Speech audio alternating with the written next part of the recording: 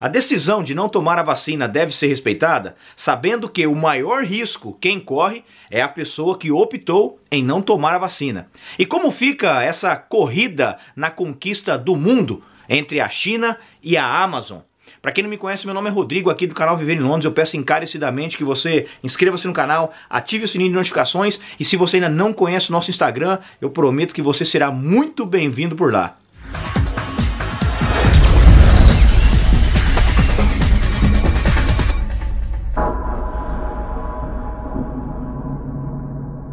Tudo bem com você? Eu espero do fundo do meu coração que você e a sua família estejam ótimos, com as graças de Deus, como nós estamos aqui. É muito importante que a gente fique até no finalzinho desse vídeo aqui, eu prometo ser bem breve, porque as informações aqui é muito, muito importante. Agora, o grande risco que as pessoas não vacinadas estão correndo por ter optado a não tomar a vacina, como está o caso de Covid aqui no Reino Unido. Casos diários permanecem altos depois de cair no final de julho. O número médio de casos confirmados diariamente aumentou e caiu várias vezes durante agosto e início de setembro. A média voltou a subir nos últimos dias.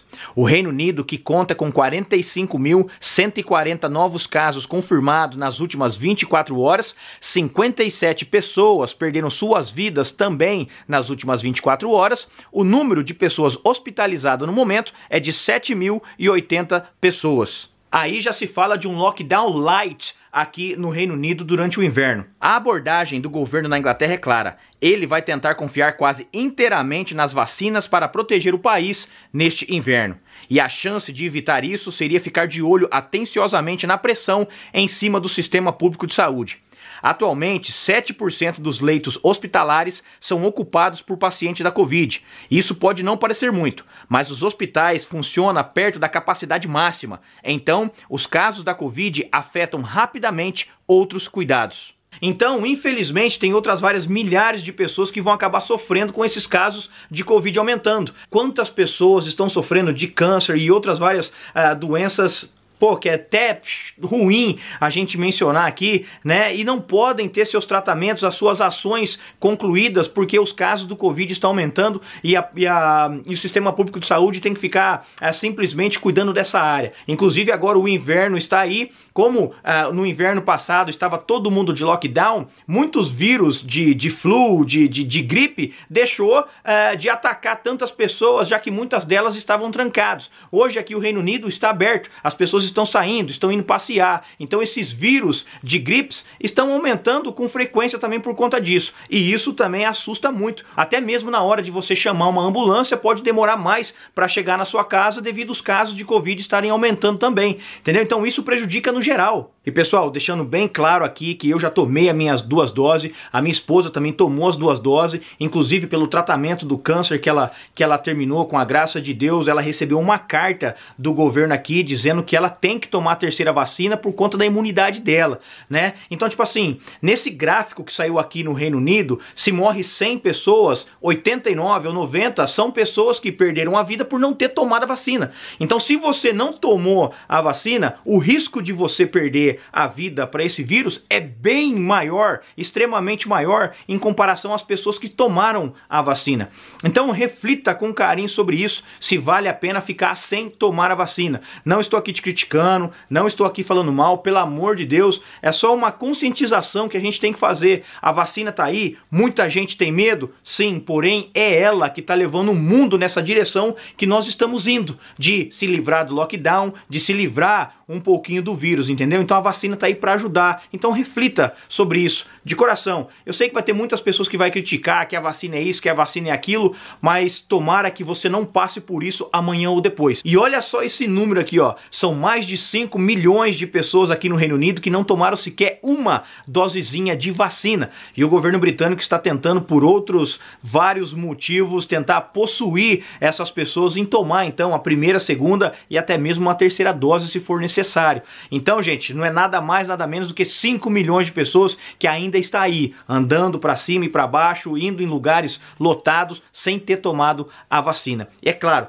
que essas pessoas correm um risco muito maior de se adoecer, de perder sua vida para o vírus, do que as pessoas que tomaram a vacina. E esse gráfico aí mostra a realidade de que as pessoas não vacinadas são as pessoas que estão, infelizmente, em um número bem maior, perdendo a sua vida pro para o Covid-19. Agora, olha a situação em que a Amazon está colocando o Reino Unido e outras empresas aqui no país. Parece que há uma, uma corrida entre a Amazon e a China de quem conquista o mundo primeiro. Olha só. A gigante do varejo online, Amazon, vai oferecer pagamentos únicos de até 3 mil libras para atrair funcionários nas regiões do Reino Unido, onde há uma alta demanda por mão de obra. A Amazon abriu 20 mil vagas no Reino Unido durante a época do Natal. Os temores sobre a escassez de trabalhadores já levaram outras empresas a alertar sobre os problemas no período que antecede o fim do ano. A Amazon começou oferecendo um bônus de assinatura de mil libras para recrutar funcionários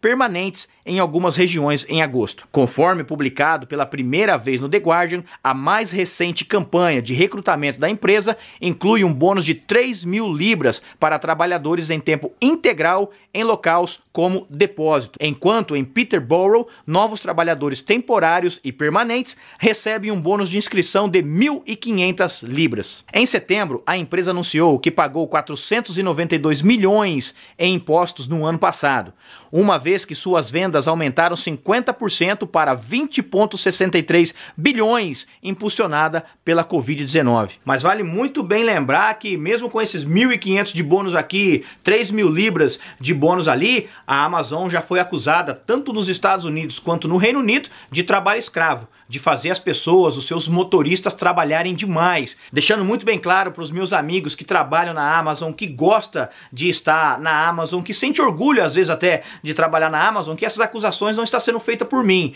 mas sim por vários por centenas de empregados ou de colaboradores, como assim dizem, que trabalhavam na Amazon e que fizeram essa denúncia. Como diz um médico, um sábio indiano, sempre é bom você amar o que você faz e não a empresa para quem você trabalha, porque para a empresa deixar de amar você, é assim, ó, igual Thanos. E a Amazon, com a potência que é, está aproveitando dessa situação uh, da Covid, da pandemia e fazendo números imensuráveis, né? Estão fazendo bilhões, como eu já disse aí, mais de 20 bilhões uh, no ano passado suas vendas subirem 50%. E há, claro, empresas menores que não têm a mesma condição que a Amazon tem de oferecer esses bônus aí para tentar contratar as pessoas. Então, a Amazon está tomando conta aqui do Reino Unido, entendeu? Então, é difícil as empresas menores que estão em buscas de trabalhadores, de drivers, conquistar então essas pessoas para vir é, abordar essas pessoas para vir trabalhar para eles. Quando você vê uma Amazon, uma gigante do mercado aí, dando 3 mil libras de bônus, 1.500 libras de bônus, entendeu?